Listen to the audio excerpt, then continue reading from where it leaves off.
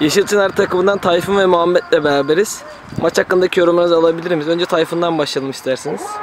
Maç güzeldi, zevkliydi ama aslında daha güçlü rakip bekliyorduk. Biz güçlü rakiplerle oynamak istiyoruz. Hani dengimiz olduğunu düşünmüyoruz bu rakiplerin. Zaten biz sonlarda artık yavaşlamaya başladık. Ama e, yönetimden pek memnun değildik. Daha diğer maçlarda daha ciddi olursa yönetim daha iyi olur.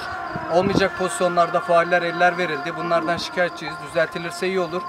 Güçlü rakiplere meydan okuyoruz. Hepsini bekliyoruz.